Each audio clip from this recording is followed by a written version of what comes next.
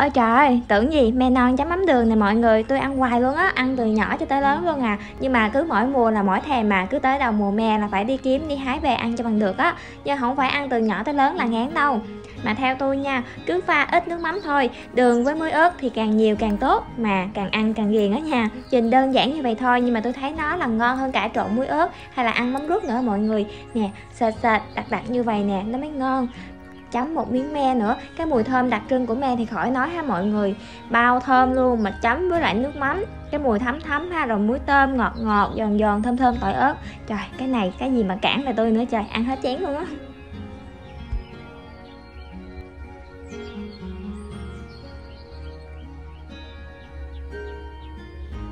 Nè mọi người, me chấm với lại mắm đường. Trời ơi, mắm đường phải kẹo nha. Kinh nghiệm của tôi á là Ờ, ba uh, muỗng đường nhưng mà chỉ có một muỗng nước mắm thôi. Ít ít nước mắm thôi mọi người đừng có cho nhiều quá tại vì nó mặn á. Nhưng mà mọi người dùng nước mắm mà thủ công á mọi người. Nó sẽ thơm và đặc trưng hơn và ngon hơn nước mắm của công nghiệp rất là nhiều. Trái cái men này hơi lớn trên cái hộp nó chát rồi mọi người. Ừ. nhưng mà ăn cũng ngon trời cắn chút cái miếng ớt á, ớt tươi á, mọi người. Trời ơi, chắc chết tôi quá.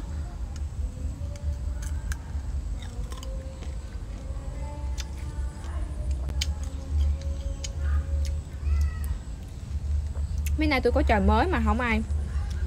Chưa thấy chưa thấy bạn nào comment khen cái trò mới của tôi luôn á. Quay trong nhà riết pháo quá à. mẹ không cho quay nữa, mẹ đuổi ra ngoài đây luôn.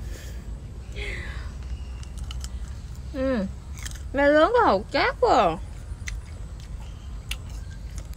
trời ơi à, mọi người rút kinh nghiệm của tôi nha là để me á mà me là cái hạt của nó là nhỏ nhỏ thôi nha. Cái cái à, cái cái me mình non thôi chứ đừng bẻ me lớn quá giống tôi nè.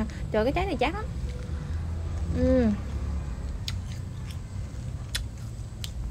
như trái này.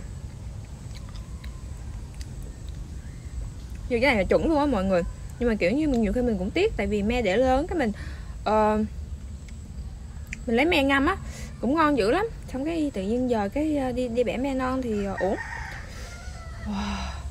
mọi người coi nè.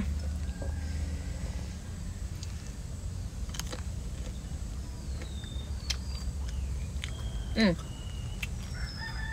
Cũng là trái nhỏ ít chua hơn nè không có chát nữa. Ừ ngon hết mọi người còn có nước mắm này muốn uống ghê nó ngon tuyệt vời.